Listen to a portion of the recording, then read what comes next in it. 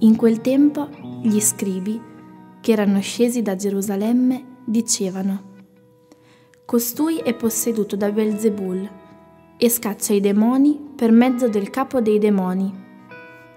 Ma egli li chiamò e con parabole diceva loro, Come può Satana scacciare Satana?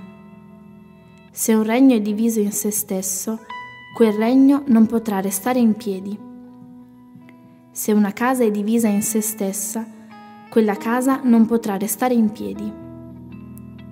Anche Satana, se si ribella contro se stesso ed è diviso, non può restare in piedi, ma è finito.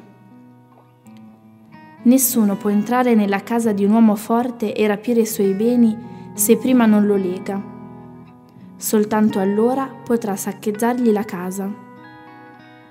In verità io vi dico, tutto sarà perdonato ai figli degli uomini, i peccati e anche tutte le bestemmie che diranno. Ma chi avrà bestemmiato contro lo Spirito Santo non sarà perdonato in eterno, e reo di colpa eterna, poiché dicevano è posseduto da uno spirito impuro.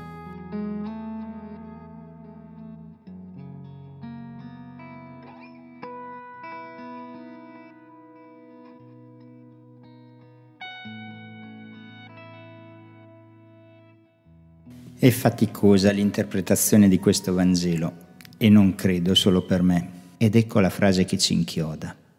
A chi bestemmierà lo Spirito Santo non sarà perdonato. Che vorrà dire? Che significa questa bestemmia contro lo Spirito Santo? E dire che se ne sentono di bestemmie in giro. Ignoranti e rozzi bestemmiano la Madonna, Gesù, i santi, ma direi che neppure i più incalliti tra loro hanno la creatività di bestemmiare lo Spirito Santo. Però non è su questo piano che si pone Gesù. Che vuole dirci? Azzardo un'interpretazione. Chi è lo Spirito? Lo sappiamo, la terza persona della Trinità. E qual è il suo proprium? È dare la vita. Lo Spirito vivifica Fa anche tante altre cose ovviamente, ma il dare la vita è fondante. Ricordiamo tutti quanti quella immagine del profeta Ezechiele al capitolo 37, dove lo spirito dai quattro venti soffia sui morti perché rivivano. Ecco, lo spirito è colui che ci restituisce la vita.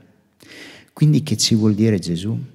Che se non accogliamo lo spirito moriremo nei nostri peccati, non c'è possibilità di perdono è la disperazione, è il voler chiudersi alla vita, alla speranza, è il dire un no consapevole a quel lucignolo fumigante che ancora ci consegna luce sufficiente negli abissi del peccato. Qui Dio non ci può fare più nulla. Quindi la bestemmia allo Spirito Santo è il non volersi più aprire alla vita e il decidersi per la morte.